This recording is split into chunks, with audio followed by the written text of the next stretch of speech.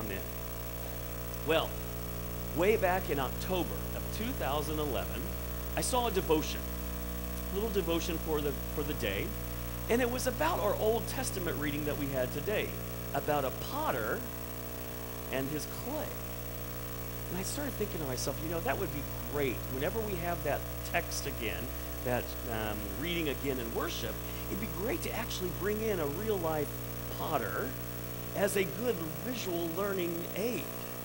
So I started thinking, well, where could I find such a potter? Well, I knew that on um, University of Nebraska's campus, we have our University Lutheran Chapel, and once in a while, the chapel offers pottery classes. So I called Pastor Bill Steinbauer down there. I said, Here's what I'm thinking about doing. Can you connect me with somebody who might be able to do this? And lo and behold, of course, he gave me the contact information for Jean Knutson. I'd like you to welcome Jean Knutson to our worship service today. Jean is a sister in Christ. She's a member of Messiah Lutheran Church here in Lincoln.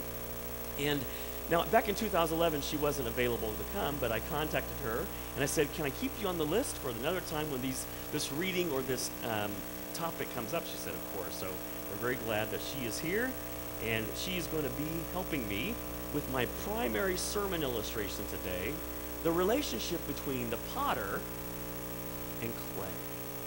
Let's pray. May the words of my mouth and the meditation of our hearts be acceptable and pleasing in your sight, O Lord, our rock and our redeemer. Amen. Well, today we hear from the prophet Isaiah. Remember him? Isaiah began his ministry around 740 BC. Now you remember, in the BC times, you count backwards. So here is Isaiah. I know, it's kind of hard to see, I realize. 740 BC, Elijah before him, Solomon, King David, Saul, Samuel after him. So around 740 BC is when he started. He was primarily the prophet during the time of King Hezekiah of the southern kingdom of Judah. Remember, at one time, during King David and King Solomon, the kingdom was united. But then, because of sin and because God disciplining his people, the, the kingdom divided between uh, the northern kingdom of Israel and the southern kingdom of Judah. That's around where Jerusalem, Bethlehem, that area is. So Isaiah was pretty much the prophet that God sent to serve King Hezekiah during that time, right? We know that Isaiah was married. He had some children, and his um, life ended around 681 BC. And listen to this. According to Jewish custom, the way his life ended was he was sawed in half. Now, the Bible doesn't give us that detail. It's a Jewish custom or maybe a legend, but we always mention it in sermons because it always grabs your attention and maybe keeps your attention. But anyway, possibly, since the prophets of God were not well treated by God's people, because not only did they preach gospel and how much God loves them, but they also preached God's law of warning and judgments when they were sinning. So often they weren't treated like that. I'm not going to suggest that you ever treat God's pastors the same way that you, they used to treat the prophets. Anyway, Isaiah prophesied about two main um, periods of time. The time before God's people were taken up into captivity in Babylon, and the time when they would return from Babylon. Okay, so what, let's remember that. You see, Isaiah warned God's people that they needed to repent from worshiping their idols of Baal and Asherah and from their immorality, or that God was going to punish them. But, you know, they would do it for a while, but then they would go back to their sinful ways. So finally, God had had enough.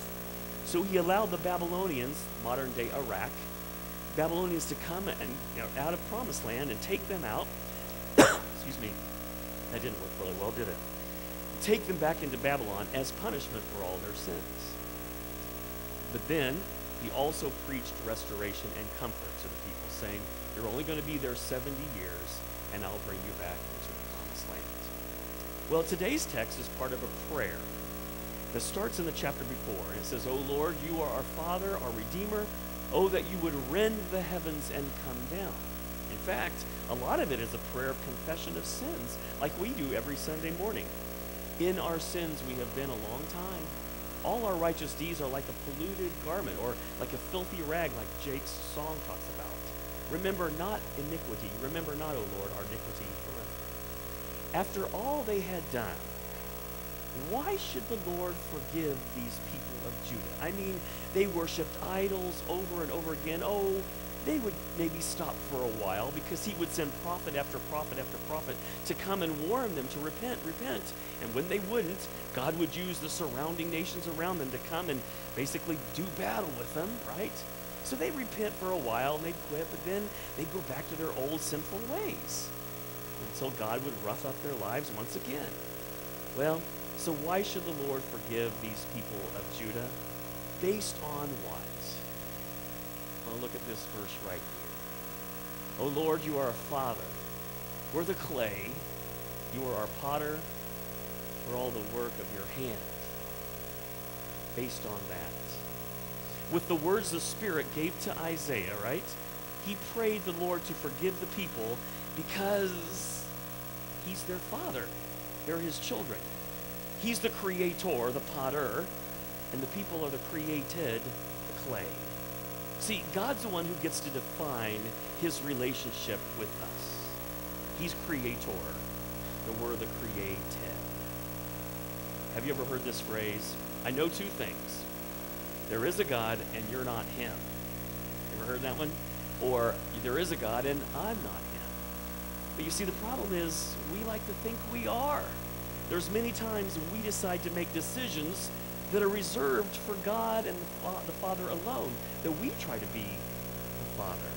We've got that thing, we've got it upside down, don't we? I think this next slide actually warns us against that. And earlier in Isaiah it says, look, shall the potter be regarded as the clay? That the thing made should say of its maker, he did not make me. Or the thing formed say of him who formed it, he has no understanding. You see, that's upside down. That clay over there does not tell Jean what to do or how to make it. No, Jean is the potter. She has the authority over the clay. She is the one who's doing this work. The clay is completely, completely dependent upon Jean and her decision on how to make that pot. Let me give you some examples, though, of how we get that upside down in our lives. The devil and the world try to say that a baby that is knit together in a mother's womb by God, oh, the world says it's just a lump of tissue. It's just a blob of potential. It's disposable if it's not wanted. That's what the devil and the world say. You see, that's an example of the thing made saying of its maker, You didn't make me. That's getting the potter clay relationship upside down. That's getting the creator created relationship all messed up. Here's another example. The devil and the world tempt us to think that life only has value if we decide that it has value. What about this? Have you ever heard anybody say, well, grandma's life doesn't have the quality of life, so we're just going to hurry things up a little bit. Wait a minute.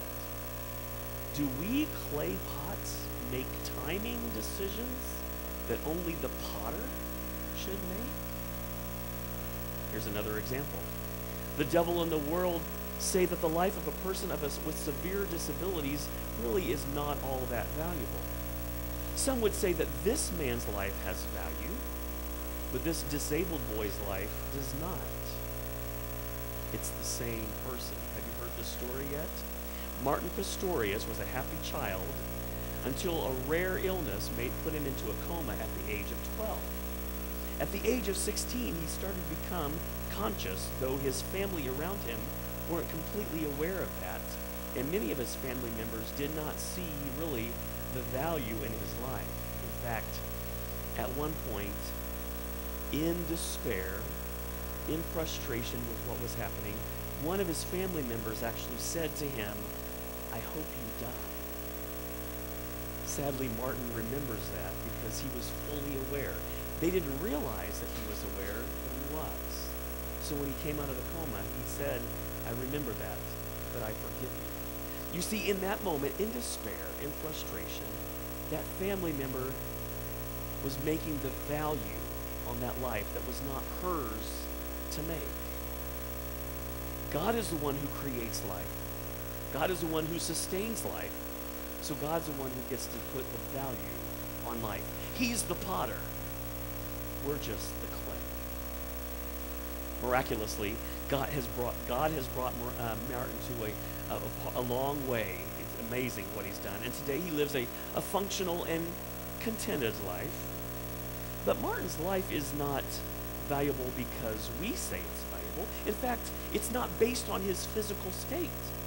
Martin's life was valuable when it was in a coma, equally as valuable as it is now.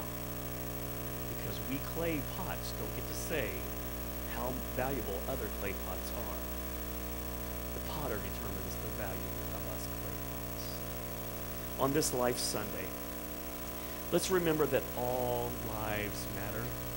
Your life matters because one, the potter created you, and your life matters because the potter's son, Jesus, became clay for you. He lived a perfect life in your place as your substitute. He died that death because God says the wages of sin is death. So he became clay for you, but then he died for you in your place so that you would not have to suffer hell in eternity. He suffered hell on the cross for you in your place. Trusting in him, you don't have to. And that potter's son who became clay for you rose from the grave to conquer death, to say that the grave is not the end of the story. There's the new heaven, the new earth that comes after that, all. Trusting in Him, trusting in that, you will live with the potter forever. Let's pray. Lord God, Heavenly Father, help us to always remember that you are our creator and we are the created. And that gives us perspective on our life. We thank you for all that you have done as you created us. We ask you to help us to remember your Son, Jesus, whom you sent to do all things necessary for our salvation, and by the power of your Holy Spirit, help us live as clay pots by your design. We pray this in Jesus' name.